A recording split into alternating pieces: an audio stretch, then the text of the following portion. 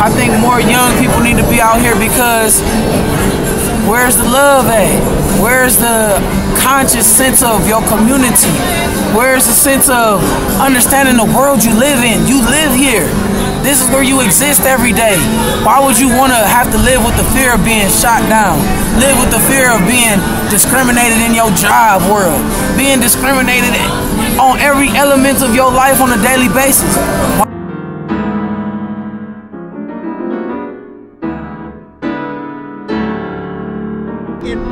Of a toxic dump that the politician allowed to be put right here on Euclid, East Cleveland. This is about three streets where I live in. It's in a residential area, a church across the street, people across the street. It's a shame, shame, shame, and we're not gonna rest until we get rid of it.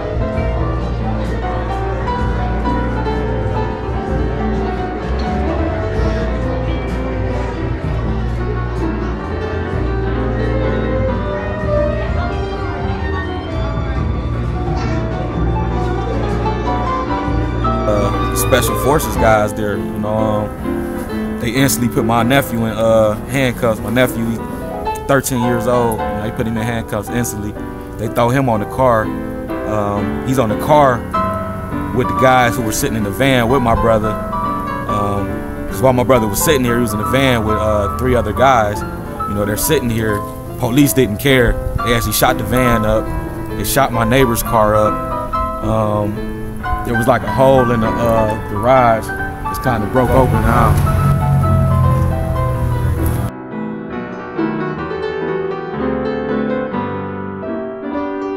It's a group of white people just coming together from all walks of life because we feel like we got to stand up and support uh, the black community right now. It feels like one of those watershed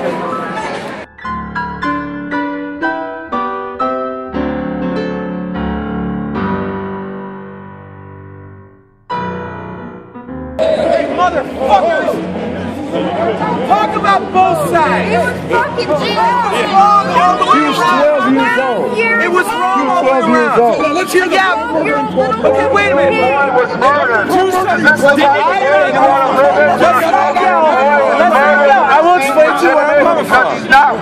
McGinty said perfect storm of human error, I No human was held accountable. But wait a minute. Let me make my point. No, you're just trying to back these killer No, I'm not. I Wait a minute. That's what I'm saying. Let me finish. I'm not. Are you? What side are you on? Are you keep? I'm on the side of the fact there's a there's a child that's dead. There's a dead child. I'm trying to make look, guys, guys. No, wait. You're defending the murder of a 12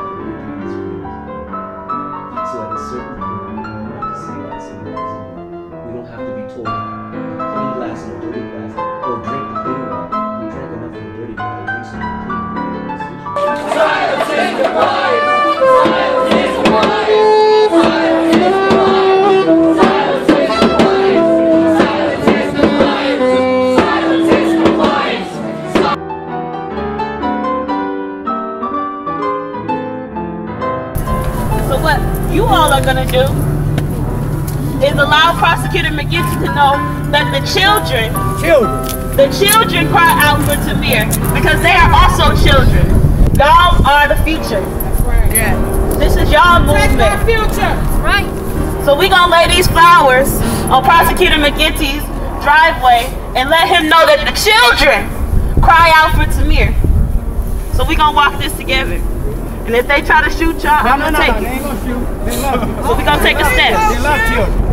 They don't love They children. love children. They love children. They need to. We know you can't join us, but we know that in your heart you know that the shooting and killing of a 12 year old child is an injustice. And you, we know that you want to do something about it, at least some of you, and those some of you, and those some of you should do something about it.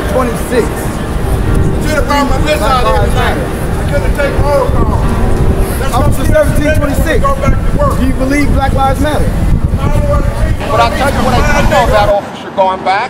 He has the official title of a training officer. Means a rookie drives with a a training officer to learn the job on the street. How in the world does a training officer drive right up to a man allegedly having a gun? It blows my mind.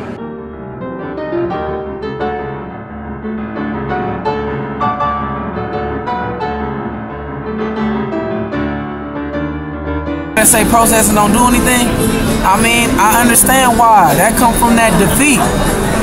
Black people got are dealing with a whole big burden of defeat we gotta carry every day, especially in Cleveland. Cleveland got defeat all over their hearts. Yeah, you know, from our sports teams to just our basic daily living. So they feel like protesting our efforts to do things as individuals are is senseless and pointless. But you can't never let man and the system strip what God gave you, and that's the power of your life, the power of your existence to do anything. Your voice can be heard. You God put you on the earth for a reason. If you if you usurp and defeat your own mind, you basically you basically underestimating and discrediting what God gave you your own life.